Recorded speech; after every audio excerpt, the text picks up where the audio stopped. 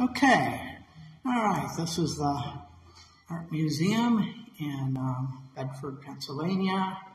Um, and again, um, you're going to get a 360 degree view of all the stuff here. So right now you're looking at me upside down and things, but in my editing, I'll have it where you'll be able to see everything here. All right. Uh, and then I'll probably take a few stills of some of these ones that I like. Um, and that way I can send them over. Um, okay, yeah, there we go. All right. Um, okay. All right, and that is the Jerry. This is the Jerry and Joan Hawk Gallery. All right. And I think there's a name up in this one. Okay.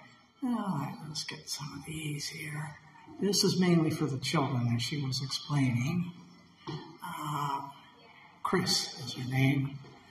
Uh, okay, so good. All right. Um, all right, so we're going to go over here. And this is, ah, this is the Ash Gallery. Oh, this is my kind of stuff. Okay, this looks, yeah, this is like really abstract. I'm going to get stills of these. Um, yeah, okay, but here, Ash Gallery, I'm not going to read that little thing, but, um, okay. Okay, I'm going to get one of these little brochure things and we'll do a video on the brochure.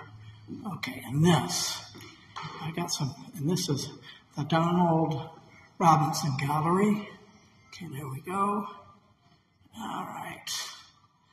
So, yeah. Um, yeah. And I've gotten pictures from some of these who were at the grand opening, like this green one here that we're looking at, the green woods. Oops. All right, yeah. Um, that one there, um, I got at the uh, grand opening.